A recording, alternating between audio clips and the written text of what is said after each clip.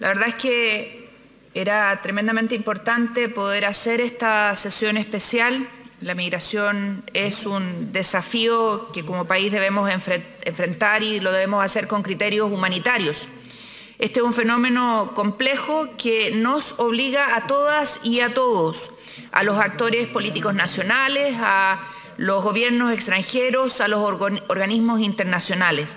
Y creo, eh, queridas y queridos colegas, que tenemos que ser capaces de buscar soluciones integrales que atiendan efectivamente y de manera humanitaria a esta crisis migratoria.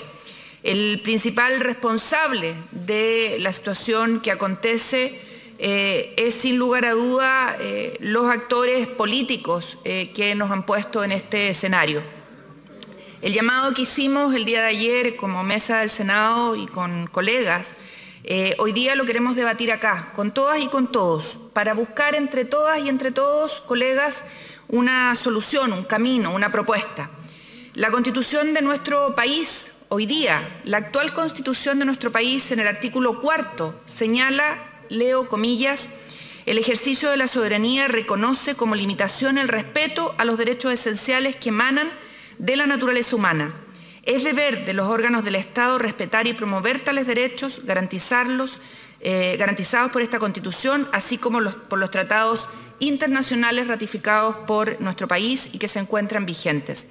Y por ello el debate en este Parlamento, por ello este espacio de esta sesión especial para que conversemos sobre un tema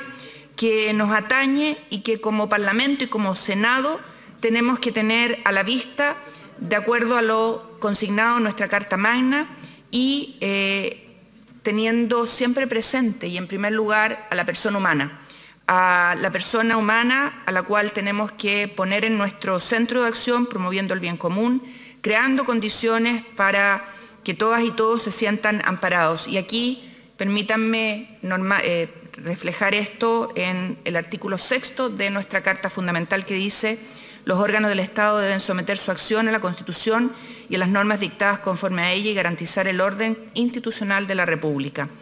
Los hechos, colegas, del 25 de septiembre pasado en Iquique nos avergüenzan, o al menos creo nos deben avergonzar. No son propios de una sociedad que debe acoger, que debe resguardar eh, la vida, la integridad de todas y de todos sus habitantes. Y lo digo aquí como, como nieta de migrantes. Creo que tenemos un desafío, un desafío importante y tenemos que ser capaces de superar lo que ocurrió el 25 de septiembre, respetando a todas y a todos, haciéndonos cargo de nuestros niños, niñas, adolescentes que vivieron situaciones absolutamente indignas.